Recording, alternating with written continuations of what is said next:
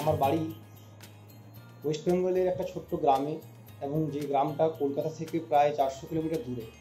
তো আজকে আমি ভিডিওটাতে টিচমিন্ট বলে একটা অ্যাপ সম্পর্কে কথা বলব। যে অ্যাপটাতে আমি বাড়িতে বসে এই গ্রাম থেকে প্রায় একশো জন ছেলেমেয়েকে পড়াই এবং তাদের প্রত্যেকের বাড়ি আমার বাড়ি থেকে অনেক দূরে, একশো কিলোমিটার, দুশো কিলোমিটার দূরে তাদের বাড়ি।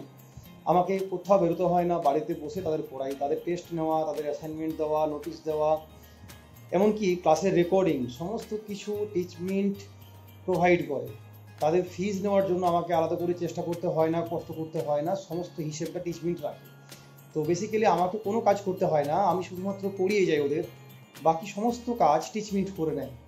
তো একজন গ্রামের ছেলের কাছে এত বড় সুযোগ টিচমেন্ট নিয়ে এসেছে, সে কারণে টিচমেন্টকে অনেক অনেক থ্যাঙ্কস ধন্যবাদ টিচমেন্ট আর সকলকে বলব এই অ্যাপটা ব্যবহার করতে। Thank you so much